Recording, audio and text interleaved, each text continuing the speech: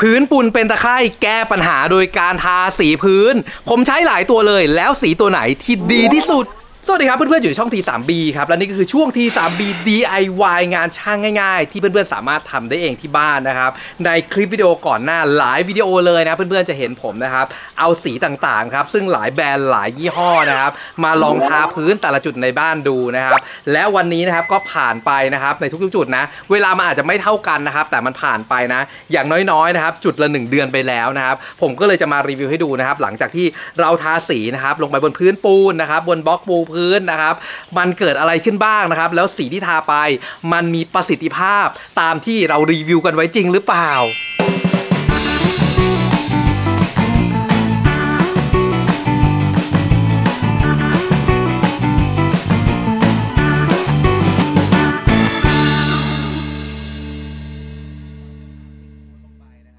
จุดแรกนะครับที่ผมลองใช้สีทาพื้นดูเลยนะครับก็คือตรงนี้นะครับคือเป็นบริเวณหน้าบ้านนะ เดิมมันเป็น ปูนนะครับที่ผมทำเองนะครับเป็นบล็อกตัวปูพื้นที่ผมทำเองนะ ซึ่งพอใช้เป็นนานๆนะครับปัญหาของมันก็คือ มันมีตะไคร่ขึ้นนะครับบนหน้าปูนเนาะแม้ ผมจะทำน้ำยาเคลือบไปแล้วก็ตามนะครับ บางจุดที่น้ำยามันรอกร่อนออกไปนะครับจากการขับรถผ่านจากการที่เราล้างพื้นก็ดีนะครับ มันก็ทำให้ตะไคร่ขึ้นครับและวันนั้นนะครับผมก็เลยใช้สีฮีโร่นะครับซึ่งเป็นสีรองพื้นเกาะเหล็กกันสนิม ที่เขาบอกว่าสามารถทาปูนได้ด้วยนะครับ ก็ทาดูนะครับ ซึ่ง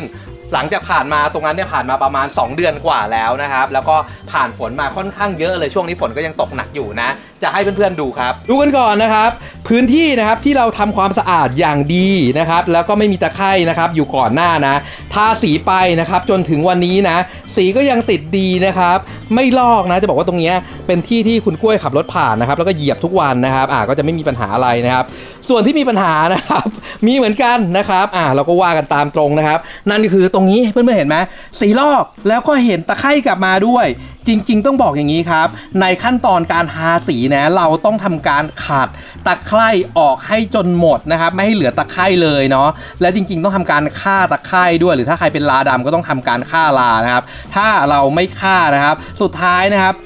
เขามีรากอยู่ข้างล่างนะเขาจะโตกลับขึ้นมานะครับ แล้วก็ดันสีนะครับ สังเกตว่าทุกอันนะครับ มันไม่ได้เป็นตะไคร่ใหม่ด้วยนะ มันไม่ใช่ตะไคร่ใหม่ไปเกาะข้างบนนะครับ แล้วลอกนะไม่ใช่นะ มันเป็นตะไคร่เก่าที่ผมไม่ล้างเองนะครับ อันนี้คือเป็นปัญหาจากการขั้นตอนการทำงานนะ เพราะฉะนั้นก็เลยอยากแนะนำเพื่อนๆว่า ใครจะทาสีบนพื้นนะครับ ถ้าล้างก่อนแบบนี้นะครับ ไม่มีปัญหาเลยนะครับเดี๋ยวจะฉีดน้ำให้ดูด้วยนะครับ ถ้าไม่ล้างก่อนนะครับ ปัญหาก็จะเป็นแบบนี้ครับ เชื้อรามันดันกลับขึ้นมาครับ อะมานะครับจะฉีดน้ำนะครับก็คือฉีดในลักษณะการล้างพื้นทั่วไปก่อนนะครับ ฉีดหัวบานๆนะ แบบนี้นะนะครับอะแบบนี้นะเอาแต่ก้อนนี้นะครับก้อนนี้ที่ไม่มีปัญหานะเพื่อนๆดูนะ เห็นไหมฉีดไปนะครับ สีก็ไม่หลุดลอกนะครับ ทีเนี้ยถ้าเราปรับแบบเป็นหัวแรงๆเลยนะครับ อันนี้คือสีฮีโร่นะปึ๊บอะเพื่อนๆดูนะครับ จอแช่เลยนะหัวแรงๆนะเห็นไหมเห็นไหมเห็นไหมครับ ถ้าแรงมากนะครับแบบนี้นะ หลุดนะครับ หลุดเหมือนกันนะ ผมเชื่อว่าสีอะไรก็หลุดแหละ เพราะเครื่องฉีดน้ำแรงดันสูงอะ่ะ ถ้ามันแรงมากอะนะแบบเนี้ย ขนาดบางทีนะฉีดสีรถนะ สีรถยังหลุดออกมาล่อนออกมาเลยนะครับ ถ้าการยึดเกาะพื้นผิวไม่ดีพอนะ อ่า นะครับ เพราะฉะนั้นเวลาล้างพื้นที่ทาสีนะครับ แค่นี้ก็พอเนาะ เราไม่มีความจำเป็นที่แบบ เราจะต้องแบบไปปรับหัวแบบให้มันแรงๆ แล้วฉีดแบบ สมัยก่อนที่เราจะแบบมาล้างตะไคร่กันแบบนี้นะ ไม่มีความจำเป็นแล้วนะครับ ซึ่งถ้าเพื่อนๆสังเกตนะครับ การฉีดแบบนี้นะ นอกจากสีมันจะหลุดแล้วนะครับ ตัวปูนเองนะครับที่โดนฉีดนะครับ เขาก็มีการสึกก่อนหลุดออกไปด้วยเหมือนกันนะครับอะตัวกระป๋องตัวโลโก้อาจจะเห็นไม่ชัดแล้วนะครับ ตัวนี้ก็คือสีนะครับ Hero Rush Tech นะครับ 2 in 1นะครับ ที่ผมซื้อมาก็จะเป็นสีเทาด้านนะ ข้อดีของมันคือทาเหล็กก็ได้นะครับ แล้วก็สามารถทาปูนนะครับ ทาหลังคาได้ด้วยอะต่อมาตรงนี้นะครับที่ผมทำบ่อน้ำนะครับ จะเป็นสีของเชลนะครับ ซึ่งอันนี้ผมคงไม่ต้องไปฉีดให้ดูนะ เพราะว่าจริงๆแล้วความตั้งใจคือทำบ่อน้ำครับนะทำบ่อน้ำนะครับ เพื่อนๆจะเห็นว่าตรงเนี้ยนะครับ ที่เราทา Flintkote นะครับซูเปอร์นะครับก็สามารถใช้งานได้เก็บน้ำอยู่นะคือผมจะบอกว่าผมแทบไม่ต้องเติมน้ำเลยนะครับแล้วก็นะครับตรงนี้ที่ผมเอาตัว Flintkote Super นะครับมาผสมกับตัว Color Flex นะครับ ก็ยังเป็นสีที่เกาะดีอยู่นะครับ แล้วก็มีเม็ด texture อย่างที่ผมต้องการนะ เป็นลายหินแบบนี้นะครับอ่านี่ก็คือเราใช้ผสมผสมกันนะ ระหว่างตัวซูเปอร์นะครับ กับตัว Color Flex นะครับ ก็จะได้งานแบบนี้ขึ้นมานะ แล้วก็ประสิทธิภาพคือ ทนมากนะครับทนมากถือว่าทนมากเลยนะ นี่ก็ใช้งานมาเดือนกว่าแล้วนะครับ ถือว่าโอเคเลย ส่วนของรกๆทั้งหมดนะครับ ผมก็ย้ายมาอยู่หลังบ้านนะครับ แล้วผมก็อันนี้ผมก็ต้นเองแหละผมก็ลองทำไว้นะผมลองเอาแบบตัวฟลินโค้ดนะครับ มาทาพื้นตรงนี้ดูนะเห็นดำๆก็ไม่ได้สวยนะ แต่ก็อยากลองนะครับ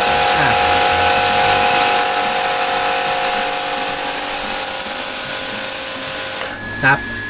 อะ Flintkote นะครับ ซึ่งอันเนี้ยผมไม่ได้ขัดตะไคร่นะ ผมเอา Flintkote ทาทับตะไคร่ไปเลยครับทุกคนนะอันนี้คือนิสัยไม่ดีนะครับ แต่แค่อยากลองเฉยๆนะครับ ซึ่งนะครับนี่ Flintkote ยังอยู่ในนี่เลยฮะนะพอเราฉีดนะครับเราเห็นว่าอะมันก็ลอกเหมือนกันนะครับ สรุปง่ายๆครับ คือถ้าเราไม่ทำความสะอาดพื้นให้ดีนะครับ ขัดพื้นให้ดีนะไม่ว่าจะเป็นตัวเคลือบตัวไหนนะครับ ที่เขาบอกว่ากันน้ำนะ มันก็มีโอกาสหลุดได้นะ เพราะว่าหน้าสัมผัสเนี่ยเขาไม่ได้สัมผัสกับพื้นผิว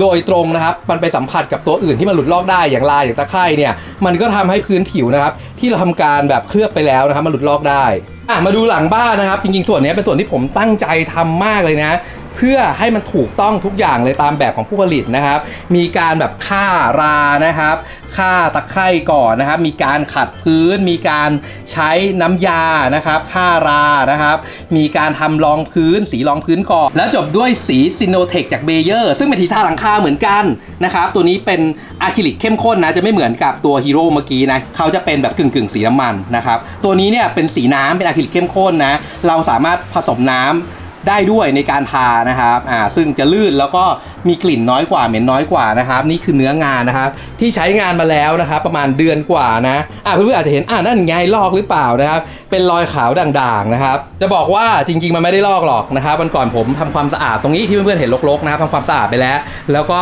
พวกฝุ่นพวกแบบฝุ่นปูนต่างๆนะครับมันลงมานะอาจจะฉีดให้ดูนะครับอ่าเห็นไหมพอฉีดแล้วมันก็กลับมาสีสวยเหมือนเดิมนะครับ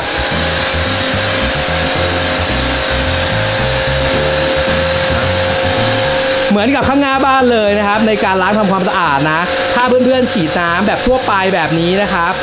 สีอยู่ทนครับ สีไม่ลอกแน่นอนนะ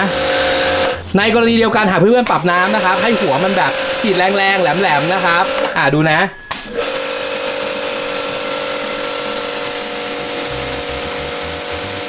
อะเอออันนี้ไม่ลอก ผมก็ไม่เคยลองนะอะลองดูนะครับ เห็นไหม อาปรับน้ำให้แรงๆแหลมๆนะครับอ่าอันนี้คือพยายามฉีดให้มันลอกเลยนะนะครับ อ๋อ ลอกแต่น้อยมากนะครับ ไม่หลุดออกมาเป็นแผ่นนะ แต่ว่าคือรู้สึกได้ครับว่า สีมันจางลงนิดนึงนะครับ สีจางลงนิดนึงนะอ่าซึ่งถ้าเราฉีดแรงๆก็ลอกนะ เพราะนั้นการทำความสะอาดพื้นพวกนี้นะครับ ที่เพื่อนๆเห็นนะ เราก็ทำความสะอาดแบบฉีดน้ำหรือก็กวาดแบบปกตินะ ไม่ต้องแบบไปพยายามแบบฉีดให้มันแรงให้มันลอกนะครับ ฉีดน้ำปกตินะครับ ปรับหัวบานๆนะครับ หรือว่าการกวาดโดยทั่วไปนะครับก็ไม่สามารถทำให้ตัวพื้นนะครับ มันหลุดลอกได้นะเนี่ยอย่างเงี้ยนะครับเนี่ยอย่างเงี้ยยังไงก็ไม่ลอกนะครับ อย่างเงี้ยยังไงก็ไม่ลอกนะ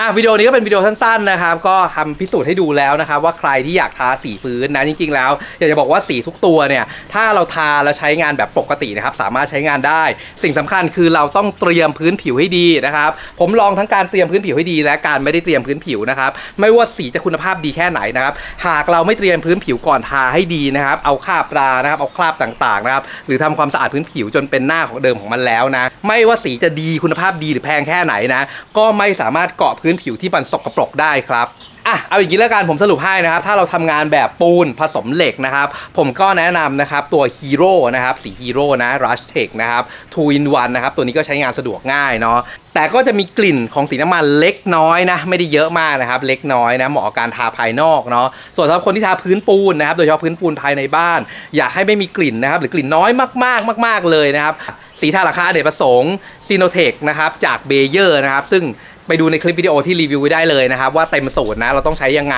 นะครับ มีตัวฆ่าราฆ่าตะไคร่นะครับ มีตัวรองพื้นนะครับ แล้วก็มีตัว Synotex นะครับ ซึ่งอันนี้เพื่อนๆก็ลองตัดสินใจในเรื่องขั้นตอนการทำงานดูนะครับอ่าส่วนตัว Shell นะครับ Flintkote เนาะจริงๆ ไม่เหมาะกับการทาพื้นโดยตรงนะครับอ่าเหมาะกับการทารองพื้นที่อยู่ข้างใต้อีกทีหนึ่งนะครับก่อนปูพื้น ข้อดีของ Shell นะครับ Flintkote คือสามารถกันน้ำได้เป็นอย่างดีนะครับสำหรับเพื่อนๆที่มีปัญหาน้ำซึมนะครับหรือคนที่บอกว่าห้องน้ำเนี่ยมีน้ำซึมน้ำซึมออกมาตลอดเลยจากผนังนะครับ แบบนี้นะผมก็แนะนำให้ใช้ตัว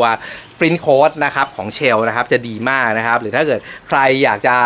เอามาทาพื้นปูนนะครับอของเชลเขาก็จะมีตัว Color Flex นะครับก็สามารถใช้งานได้เหมือนกัน เพราะฉะนั้นสีทุกตัวนะครับอุปกรณ์เคมีทุกตัวเขาออกแบบมาแล้วนะครับให้เราสามารถใช้งานได้ตามวัตถุประสงค์นะครับที่ผู้ผลิตแจ้งใช้นะครับซึ่งเราสามารถเอามา DIY ทำงานต่างๆของเรา หรือแก้ปัญหาต่างๆ ของเราในบ้านได้ครับ และขอบคุณนะครับเพื่อนๆที่เข้ามาติดตามชมนะครับ อย่าลืมกดติดตามกดกระดิ่งเป็นกำลังใจให้ผมพาผมไปยอด 6 0 0 0 0 subscribe อย่าลืมติดตามใน TikTok รวมถึง Line Official ด้วยนะครับ วันนี้ไปก่อนครับ บ๊ายบาย